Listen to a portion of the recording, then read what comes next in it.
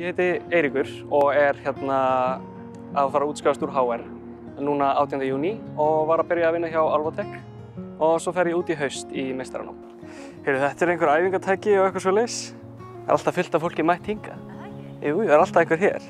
Eh, Þetta er bara algjör snild vegna þess að þetta er svo í rauninni stutt frá skólanum og bara þægilegt að labba, þægilegt að geta, þú veist, í rauninni nýtt sér þessa aðstöðu að vera svona nálægt af því það er ekkert eins og það sé eitthvað það mikil byggði hérna nálægt.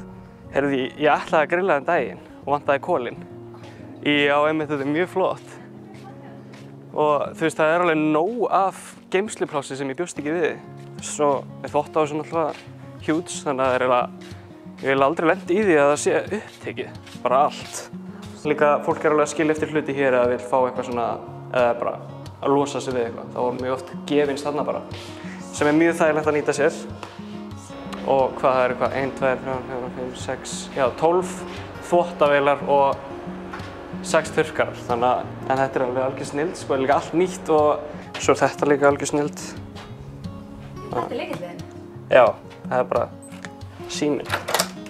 Það er, finnst mér mikilvægt að skipta þessu upp í smá rými, þannig að það sé hægt að vera, þannig að þú sért ekki þegar þú ert að læra, þú ert að horfa á rúmið, þú ert að horfa á sjónvarpið, þú ert að horfa á eldhúsið, þú vilt vera að læra og vilt geta aðeins svona breytt, þó svo þetta sé lítið. Uh, nei, já, ég hér sem sagt hérna flutti þetta skilrum bara inn og smíði þetta bara á gólfinu hér.